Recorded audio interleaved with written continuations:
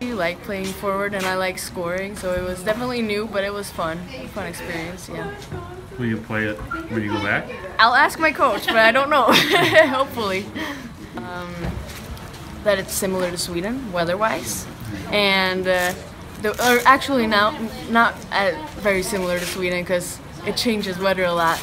Like I, we played a game last week and I thought it was gonna be hot, and then it ended up being freezing cold. So you never really know.